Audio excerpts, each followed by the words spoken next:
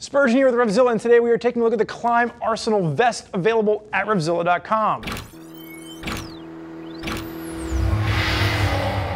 So for you enduro riders out there that want to take the weight off of your motorcycle and attach it to your persons, the Klim Arsenal vest is going to be a fully adjustable vest which allows you to keep your tools, your gear with you on an enduro ride. Now, this is to be a one size fits all option. One color available, and that's the night camo. To give you an idea of how this fits, Juice on my left-hand side stands at 5 foot 10, weighs in at 195 pounds, and has a 42 inch chest.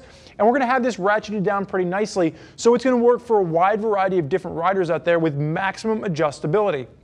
So the Arsenal vest is going to be for you enduro riders out there that do want to keep the weight on you as opposed to on the bike. And we know Klim at Revzilla because Klim is really known for their role in off-road, adventure riding, enduro riding, and the different unique products they're creating to help riders out in a variety of different situations. So for you enduro riders out there that are looking for something to give you maximum storage, this is gonna be a nice option. It's gonna fit over top of your already existing gear. So Juice on my left-hand side is wearing this on top of the Klim Tactical Pro jersey, and you can see it works really nicely to give him a setup that's still gonna allow for a ton of airflow, but it is gonna be lighter than if you were wearing a full jacket with pockets inside of that. So let's break this down. The overall construction on this is gonna be a heavy duty nylon with a maximum amount of 3D mesh. We're gonna start with the front. We're gonna work our, through, our way through that. We're gonna talk about the sides and then work our way to the back as we take a look at this. So the first points of adjustments come in at the shoulder and you're gonna see a nice big piece of nylon webbing at the top and you can really ratchet this down to adjust where this fits over your shoulder. And as you bring this down, you're gonna see a hydration tube with a connection point on the front massive amounts of mesh throughout. It's a nice 3D mesh, and you're gonna see a lot of MOLLE webbing throughout this tube for different tie down points. And then you're also gonna notice on, this, on either side, you are gonna have hidden pockets behind the mesh for extra storage there. And then you're gonna have a little bit of asymmetry coming into play. You have a, you have a nice fleece line pocket over on the left-hand side. And what I like about the pockets is they hold their shape even when they're empty. So if you do have pieces in here that are a little bit more sensitive, you don't have to worry about them being smashed down or smushed down. There's a little bit of just overall, you know, uh, rigidity, if you will, to the pockets themselves.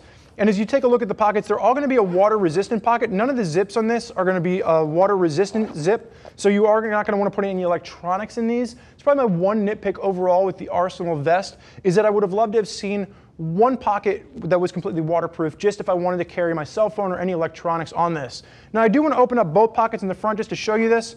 They will both have Velcro strips on the inside and then on the left-hand pocket, you're gonna see there is gonna be a holster there. So if you do wanna carry with you, you have that option for you. And much like we try to tell you if a backpack can hold a certain size laptop, uh, this will not be able to hold a Desert Eagle pistol just way too big and probably not something you wanna carry on the ride. It's a massively heavy handgun. So, as we wrap out the front, you do have three adjustment straps with this, which will again allow for further adjustment down the midsection. And Juice, just face to your right hand side and throw the hand up in the rider position for me. You're also going to notice three adjustment straps running down the torso on the body. Maximum amount of adjustments, so three straps in the front, three straps on either side, and then those shoulder straps really allow you to fine tune how this fits for you, and it really comes in with that one size fits all. Juice, you may face backwards for me.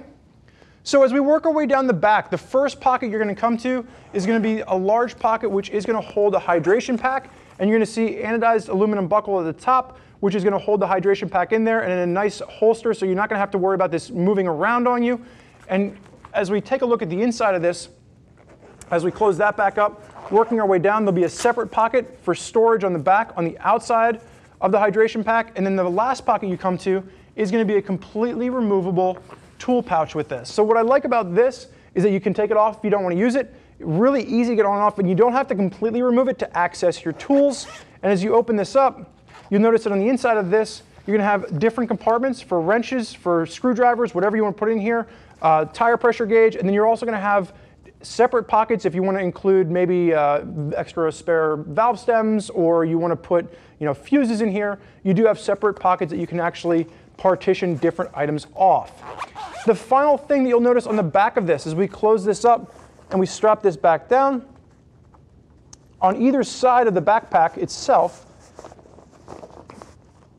you're going to have massive panels or massive pockets running on each side, and these are going to be perfect if you want to utilize longer tire irons. Pops for reflectivity on top of the night camo, and as you open this up, you'll see there is going to be elasticated webbing on the inside. And what this is going to be great for is you can put the tire iron in there. There's going to be a little pocket at the bottom where it would sit, and then you don't have to worry about it moving around. And there's one on either side. So if you're carrying two tire irons with you, you don't have to worry about them clinging and clanging into each other the entire time you're riding. Juice, you may face forward for me. And I'm going to just go ahead and unsnap this and pop open the right side so we can see just the inside of this. And what I really like about the inside of this, and you can see it's going to fit over top of that jersey really well, 3D mesh is going to really help to promote airflow throughout the entire piece, and it's also going to help just wick sweat away and pull it off of the body, maximizing comfort on warmer rides. Juice, you may strap up. Now, I will say this, the Klim Arsenal vest is not for everyone. Personally, when I am riding off-road, I like to keep all of my tools in a small pouch on the motorcycle. I don't like having the weight on my persons. What I will say for this is there's a lot of riders out there that I ride with that like the idea of a hydration pack. You've got full three liters of water that you can carry with you on this. Keep all your tools nice and close to your person and get that weight off the bike. That's really who this is aimed at. And there's a lot of riders out there utilizing Klim gear on their rides.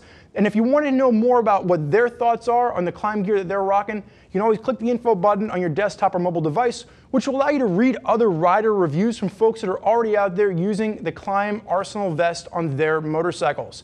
More questions for our gear geeks, give them a shout at 877-792-9455 or simply shoot us an email, cs at revzilla.com. Thank you for joining us for this look at the Klim Arsenal vest. I'm Spurge. Enjoy the ride.